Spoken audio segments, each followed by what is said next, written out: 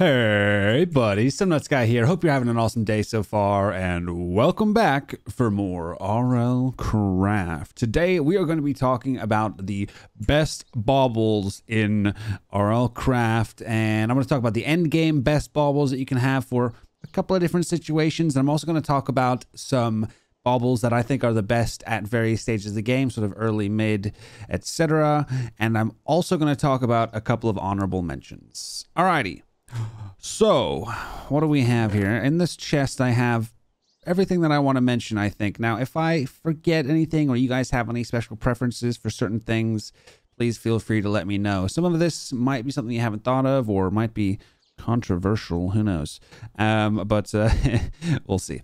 All right, so first things first, let's start with early game. So early game, we've got a couple of a couple of baubles here, which are really nice to pick up as soon as possible. You've got your arrow quiver and your tool belt.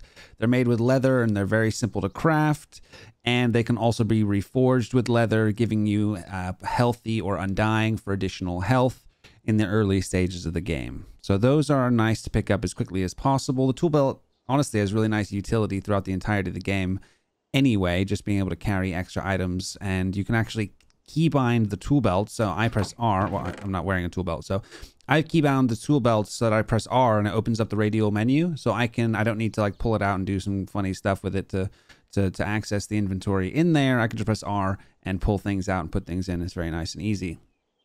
Next one's here. We have the Potion Ring of Strength and the po Potion Ring of Speed because these are both also very easy to get. The Potion Ring of Speed easier to get sooner. The potion ring strength is also quite easy to get. If you break the magma blocks in the blacksmiths in villages, you can get a couple of magma chunks to make magma cubes, or it's really not that hard to get a little bit of blaze powder or slime to be able to make the magma magma blocks to be able to make the ring of strength. And these are reforged with gold, which you should get a half decent amount of fairly early on. So again, you can reforge those quite quickly. While we're talking about potion rings, we can move on to mid game, and we've got a couple of other nice mid game options here, which is the potion ring of regeneration, which does cost uh, ghast tears to craft and a nether star, but it's not too hard because you can uh, get the ghast tears from the Cacodemons in the nether, and beating a wither just isn't isn't that difficult. So actually, that's pretty easy to get, and it's just nice to have the constant regeneration. You know, if you take a little bit of damage, you don't need to use any heals to heal up. You just have that constant regeneration, which is nice. The potion ring of resistance. Now, this is a little bit more difficult because you need the Heart of Diamond. If you loot a Ring of Resistance, great. Um, you can get those from Four Tower Dungeons, or I think Four Tower Dungeons are pretty much the best place to get them. You can also get them at the top of Thick Battle Towers. Or if you get lucky and find a Stoneling that drops a Heart of Diamond, then it's very easy to get this early on. If you do like early caving, looking for heart crystal shards or looking for trolls, and you see a stoneling, you want to ideally put a diamond in your hand because they won't teleport away if you have a diamond in your hand. However, if you run up to them and kill them really quickly, particularly if you have maybe like a pike with some extra reach, then you can kill them before they teleport away, even without a diamond in your hand. And the hopefully you know fingers crossed you get a heart of a diamond. It's fairly it's like 25% drop, drop chance. I can't remember the drop chance. It's fairly low. I seem to never get them when i kill stonelings but uh, i've seen people get two in a row as an example. So that can be a really nice one to pick up. Now i don't have the actual rings for these because you can't pull them out of jei they're not in jei they don't have recipes. But there are four potion rings um, that I quite like out of the secret potion rings that you can again loot from Four Tower Dungeons or the top of Thick Battle Towers, maybe elsewhere as well. But those are the two, uh, the top of Four Tower Dungeons and the top of Thick Battle Towers. Those are the two most reliable places that I've found to get these potion rings.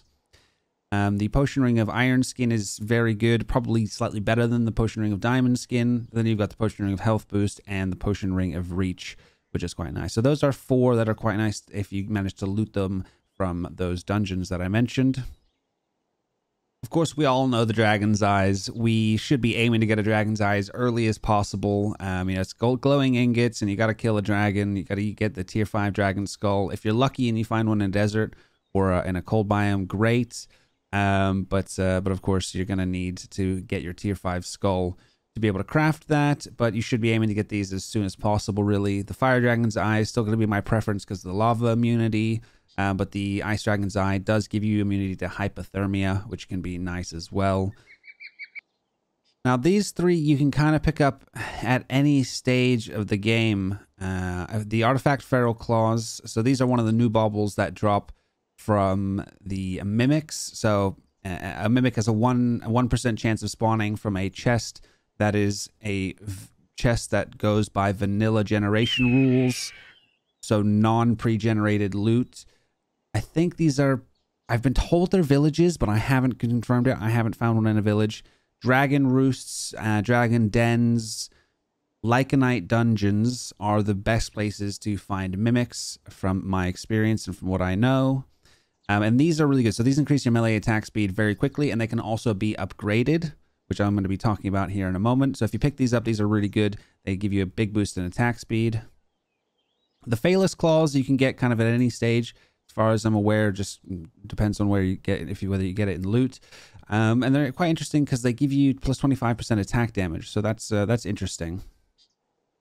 The Stone of Greater Inertia drops from Infernal Infernals. Uh, I think the, only potentially the orange or maybe maybe the yellow, but basically the high tier infernal mobs um, with the rainbow particles can drop these. Now this is this is this is quite nice to have on most of the time, just because it gives you resistance to fall damage, which is negligible because you're going to have probably feather falling and advanced feather falling and advanced protection. That all gives you good stuff, but it's very nice for the speed and the jump height.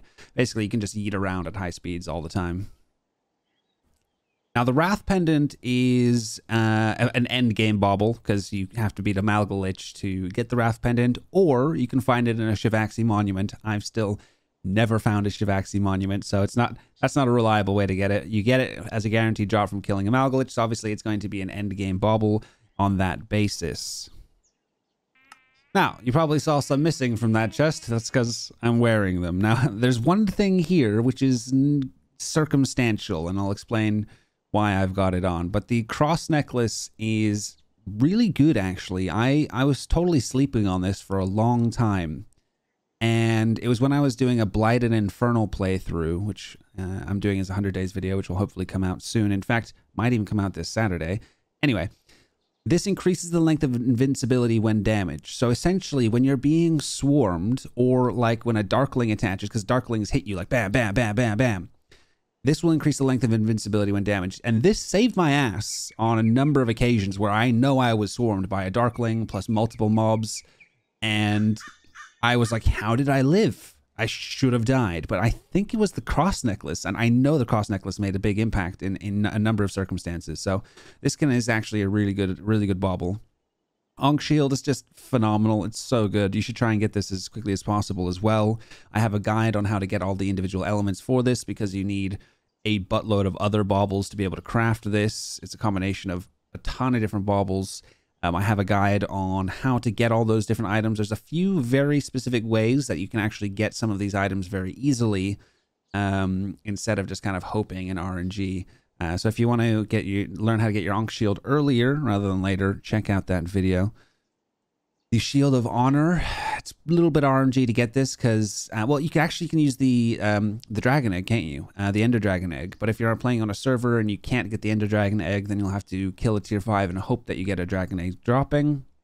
But this is really nice, especially because it gives you, um, it ignores one in every five hits. Uh, and, and pure pure damage negation of every fifth hit, and it also gives you 10% chance to ignore headshots damage, which is quite nice. Uh, it also gives you resistance. Now, the broken heart. This didn't work for a really long time. And I think this pretty much was, I think this was only fixed in 292 in the most recent update. So up until just recently, this was a basically a useless bauble. This basically lethal damage destroys empty heart containers instead, and then you sleep to regenerate heart containers. So instead of dying, you actually just lose permanent. You lose some of your heart heart containers, and then you will um, get those back once whenever you sleep. Um, now that coupled with the undershirt, every 60 seconds taking fatal blow when from a critical limb uh, is taking a fatal blow when a critical limb is above two hearts will reduce you to half heart instead of killing you. So basically, the undershirt total, you know, it's non sequitur because it's not a bauble, but that plus this will give you additional survivability, particularly uh, in the uh, in the lost cities when you're getting hit for very heavy damage. The poison stone is fantastic when you have Venom, uh, Viper, and Envenomed on your weapon because it gives you a 20% chance to poison enemies for two seconds. Well, Viper will do that anyway, but deals plus 40% damage to poisoned enemies, which is really, really good. Um, you know, it's, that's a big boost in damage, uh, and your enemies are pretty much going to be poisoned on the after the first hit most times. So you're going to be doing a lot of extra damage on your second hit, basically. Now I have the hardy, uh, the ring of free action here. And this is kind of an honorable mention, but also I'm using it for a specific purpose. The main reason I have this is it's part of the requirements to make the Ankh shield, but unfortunately you lose the ability to have free movement through cobwebs. Allows free movement through cobwebs. And I hate cobwebs. Anyone that's watched my content enough, you'll know I have a vendetta against cobwebs, or they have a vendetta against me, one way or the other. So this is actually kind of a joke, kind of a meme, but also, say for example, in your in the Lost Cities and you get in a tense situation, you you already have loads of buffs like. I, there's not really much else you might put in this slot because you've already got all the buffs from like you can either drink potions or you can have the potion ring, put on the potion ring, drink wine to extend the duration, and then take the potion ring off. So essentially, like this slot is kind of a what do we put here? And this actually, I think, is is an underrated bauble in the sense of allowing you free action through cobwebs because a cobweb can kill you. Let's face it. If you get an infernal mob, a rare, or something and it has the uh, webbing ability and it webs you in a, in a bad situation, you're very probably dead.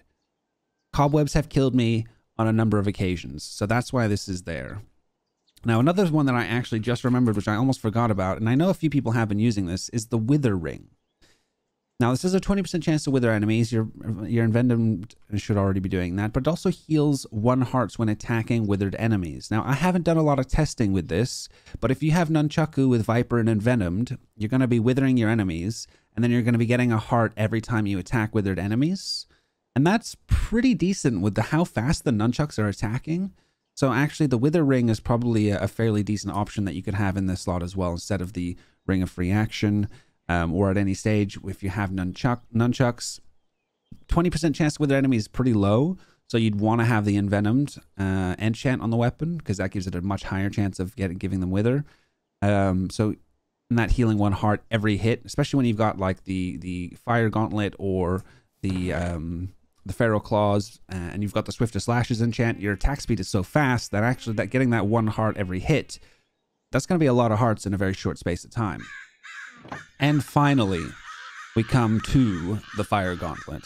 Now, the Fire Gauntlet is incredibly RNG based to get pure RNG based. High, uh, uh, it's. I don't know if I'll ever end up getting it in a playthrough. I'll be perfectly honest.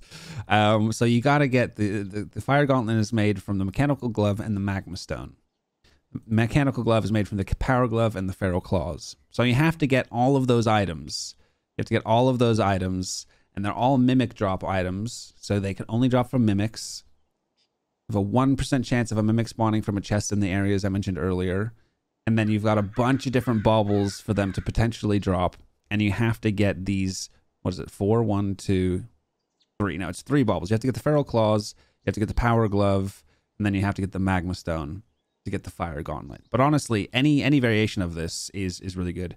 You get the Feral Claws, and the power glove upgrading that into the mechanical glove is great and if you get the magma stone on top of that to get the uh, fire gauntlet bog this is probably now the best bauble potentially the best bauble in the game definitely the best offensive bauble i still think the ankh shield is incredibly good um, as a defensive bauble. The honor shield is very good. You know these these are all very very good baubles. Definitely the best offensive bauble. Again, I'd say the Ankh Shield is one of the most core because when you're drinking wine, there's a bunch of negative effects, and I don't think Silver Armor gets rid of all those negative effects anymore. Be wrong, but I don't think it does. I think the Ankh Shield is now the only thing that gets rid of all the negative effects of drinking wine. So, finally.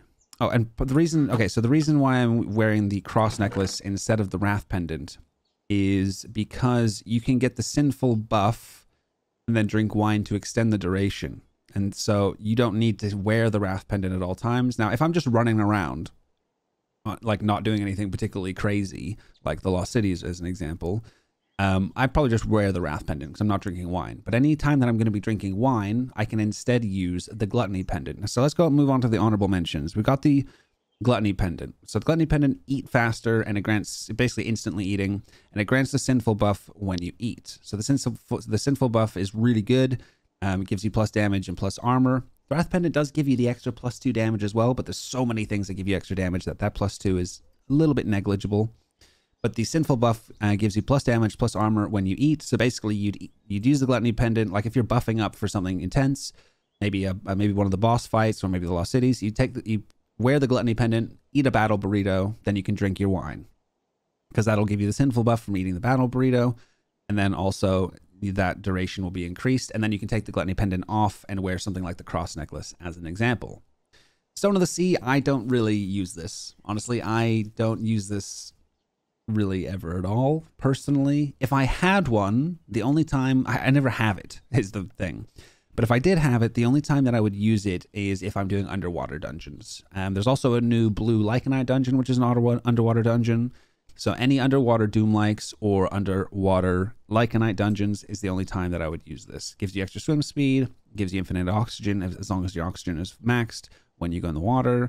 It enhances your swimming and it also gives you and this is another nice thing it gives you immunity to thirst. Um, so i believe you can uh, I, does it enable does it disable parasites? I feel like it disables parasites. So you can just basically drink dirty water whenever you want and you'll be fine. Um, it also disables the blur when entering water basically if you're doing underwater stuff Stone of the Sea is great uh, we got the pride pendant uh, it's kind of okay. Um, it's in here because it's fairly easy to make. You know, if you if you get a um if you get a sin pendant or you want to craft a sin pendant early on, you get a crown. You can also craft the crown. Um, so you can get this fairly early on, and as soon as you have sort of vampirism, life steal, or regeneration, you're at max health a lot of the time. And having that sinful buff is actually very good. Um, so I would probably still use a cross necklace over this personally. But if I, you know, manage to get this before, because you can't craft the cross necklace, the cross, ne cross necklace is uncraftable. Oh, you can craft it. I'll cut off my legs and call me Shorty. Um, no, uh, you can craft the cross necklace. Well, either way, Pride Pendant is still still half decent. Um, there might be times that I end up using it. And lastly, we've got the polarized stone. Now, the reason that I've got this here, I would never wear this. Um, but the reason that this is here is because you can just keep this in your inventory and you can press, uh, and this basically pulls items towards you, pulls items and XP towards you.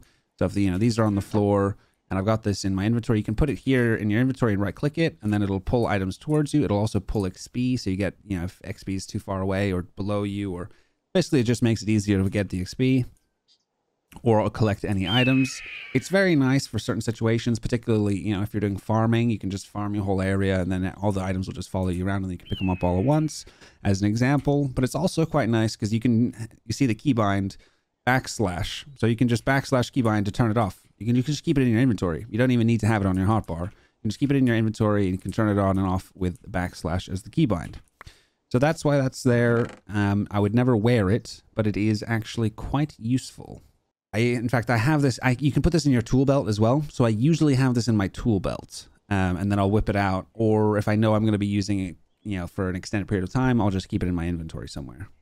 Now, I think that is everything that I wanted to talk about.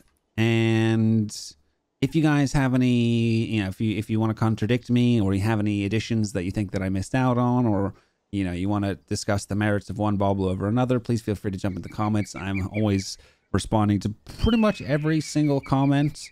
Um, although comments are getting fairly numerous these days, so I might not respond to some of the arbitrary ones. Um, but I'll still give you a you know a like and a heart. Um, but um, but I try to reply to everything that's either a question or you know, sparks conversation or you know and feel that I feel like merits a response basically. Guys, if you enjoyed the video, give it a thumbs up. If you'd like to see more, consider subscribing.